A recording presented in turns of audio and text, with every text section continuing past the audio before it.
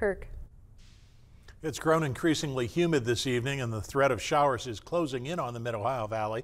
Let's take a look at our radar satellite composite. And although we see just clouds initially, the last frame shows already in McConnelsville and Morgan County we have rain showers occurring nosing into Noble County and right behind it we have some heavier cells. It looks like they'll be sinking down into the mid-Ohio Valley as we go through the overnight. Most of those are going to be thunderstorms related as well.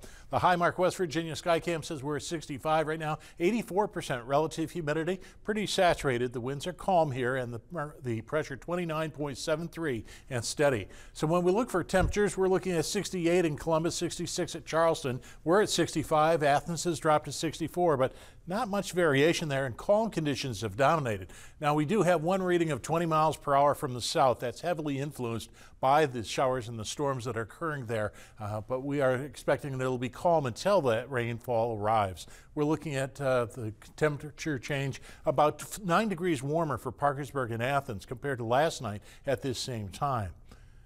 The most recent uh, radar echoes at this point, we're looking at uh, New Lexington and Clear Creek with the heavier downpours. Nothing really in our immediate area. It certainly looks like as we go through uh, the radar satellite composite shows uh, the low pressure system over Michigan driving that impulse as it comes through.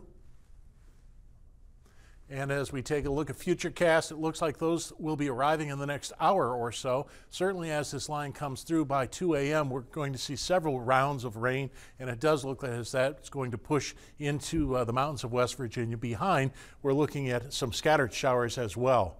At this point, uh, we're looking at a dry Friday evening. That'll be good, setting up uh, the Multicultural Festival at City Park. As we get into Saturday, generally clear, and it looks like it'll be sunny as well as we get into uh, that day. So the allergy alert says pollen levels reduced by some of these downpours.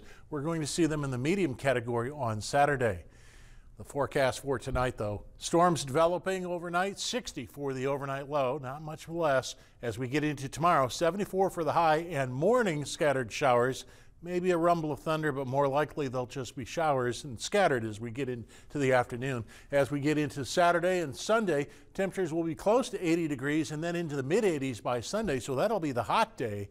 Monday will also be hot but a 39% chance of showers. Tuesday and Wednesday look a little bit drier, still in the 80s, and we cool down with another round of showers potentially on Thursday.